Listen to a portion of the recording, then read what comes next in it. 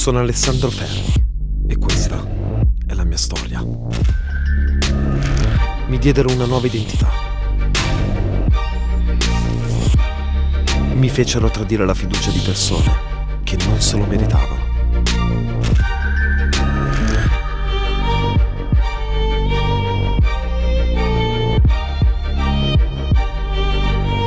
Devi promettermi una cosa, Alessandro. Non smettere mai di cercare la verità.